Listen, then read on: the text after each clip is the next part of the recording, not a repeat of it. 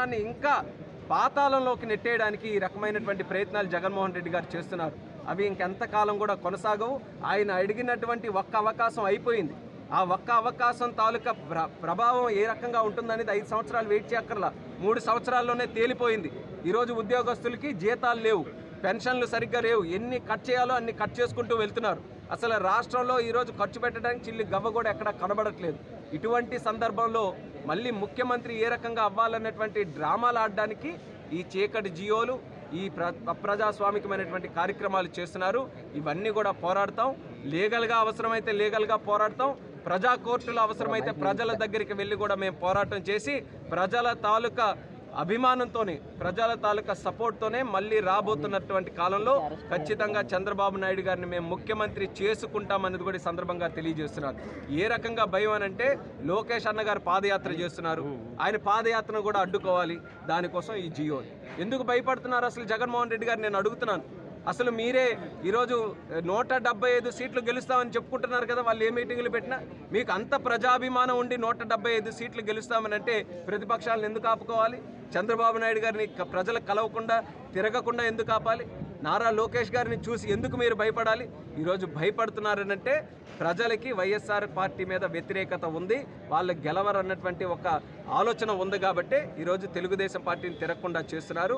మీరు ఇటువంటి డ్రామాలు ఎన్ని ఆడినా సరే మా బలం పెరుగుతుంది తప్పితే తగ్గే అవకాశమే ఈరోజు లేదు. ప్రజలు అందరూ కూడా చంద్రబాబు నాయుడు గారు ఐదు సంవత్సరాల పరిపాలన చూశారు. మీ మూడు సంవత్సరాల్లోనే మీ తేలిపోయినటువంటి పరిపాలన కూడా చూశారు. ఎంత తొందరగా ఎలక్షన్లు వస్తే అంత తొందరగా ప్రభుత్వాన్ని మార్చడానికి సిద్ధంగా ఉన్నారు కాబట్టి జగన్మోహన్ రెడ్డి గారు ఈ మూడు సంవత్సరాలు మీరు మంచి చేయలేదు మూడున్నర సంవత్సరాలు. ఇంకా రాష్ట్రానికి ఏదైనా మంచి చేయాలని అనుకుంటే ధైర్యం ఉంటే ముందుగా ఎలక్షన్లు పెట్టండి.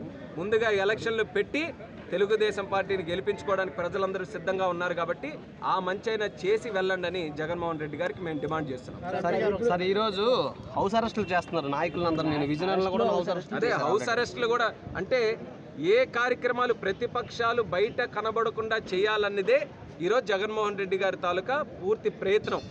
ఎక్కడ బయటకు వస్తే నిజాలు మాట్లాడుతున్నాం వాస్తవాలు మాట్లాడుతున్నాం రైతుల తాలూకా సమస్యలు మేము మాట్లాడుతున్నాం. ఈరోజు పండగ వస్తుంది ఎవరికి కూడా రైతుల అకౌంట్లో ఎక్కడ డబ్బులు పడేటటువంటి పరిస్థితి ఏ గ్రామంలో కూడా కనబడట్లేదు. మేము తెలుగుదేశం పార్టీ తరఫున ప్రతిపక్షం కింద బయట వస్తే ఇది మాట్లాడాలి.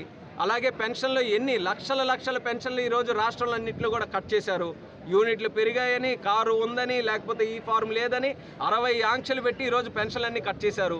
ప్రతిపక్షం కింద మేము బయట వస్తే అది మాట్లాడాలి. మూడున్నర సంవత్సరాలు అలాగే మొన్న ఫస్ట్ తేదీన జీతాలు రాలేదు. ఈ విషయం మీద మేము మాట్లాడాలి. ఇవన్నీ కూడా మాట్లాడకుండా చేయాలనంటే హౌస్ అరెస్టులు చేయాలి. అంటే మీడియా దగ్గరికి వచ్చే అవకాశం మాకు కల్పించకూడదు.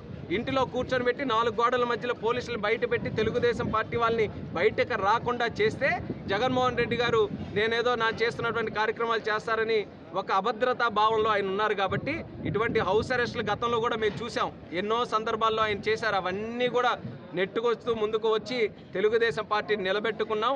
చంద్రబాబు నాయుడు గారు ఇటువంటి ఎన్ని అన్న ఎన్ని అవాంతరాలు అవాంతరాలు వచ్చినా సరే ఆయన ధైర్యంగా ప్రజల దగ్గరికి వెళ్ళి ప్రజాస్వామ్యాన్ని నిలబెడుతూ పనిచేసినటువంటి నాయకుడు. అటువంటి నాయకుడిని ఏ ఒక్కరు కూడా ఆపలేరు. అలాగే తెలుగుదేశం పార్టీ కూడా నలభై సంవత్సరాలు ప్రజాస్వామ్యాన్ని గౌరవిస్తూ న్యాయాన్ని చట్టాన్ని అన్నిటికీ అనుగుణంగానే పనిచేస్తున్నటువంటి పార్టీ కింద ఏ ఒక్క కార్యక్రమం మాకు వ్యతిరేకంగా జరిగినా సరే దాన్ని ఎదురు ఎదురుగా మరి పోరాటం చేయడానికి కార్యకర్తలుగా నాయకులుగా మేమందరం కూడా సిద్ధంగా ఉన్నామని తెలియజేస్తున్నాం. జీవోకి సంబంధించి కోర్టుకు వెళ్ళే పరిస్థితి. ఖచ్చితంగా మేము చెప్తున్నాం అది అప్రజాస్వామికమైన జియో. దానికి లీగల్ సెల్తో కూడా మాట్లాడి ఎలాగా లీగల్గా దాన్ని ఫైట్ చేయాలో అన్ని ప్రతిపక్షాల తరపున. ఇది కేవలం తెలుగుదేశం పార్టీ తాలూకా వాయిసే కాదు. ప్రతిపక్షాలందరికీ కూడా ఇది డ్యామేజ్ చేస్తుంది. ప్రతిపక్షాల వాయిస్ డ్యామేజ్ చేస్తుంది కాబట్టి కలిసికట్టుగా దీని మీద పోరాటం చేస్తాం.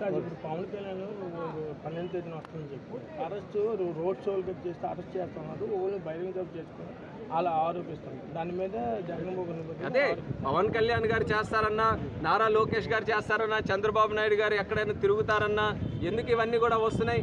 భయం. జగన్మోహన్ రెడ్డి గారికి ఈరోజు ప్రతిపక్షం చూస్తే భయం పట్టుకుంది.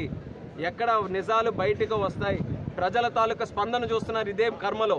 ఎక్కడికి వెళ్ళినా సరే అసలు కనీసం ఇసుక రాలడానికి కూడా స్పేస్ లేనంత విధంగా ఈరోజు జనాలు వస్తుంటే ఆయన ఓడిపోతారన్నటువంటి మాట ఈరోజు ఖాయం చేసుకొని ఆ భయంలోనే ఏదో రకంగా సభలు జరగకుండా చేయాలని ఈ ప్రయత్నం ఈ చీకటి జీవోలన్నీ కూడా ఇలాంటి ప్రయత్నాలు ఎన్ని చేసినా సరే ఆపే ప్రసక్తి లేదు.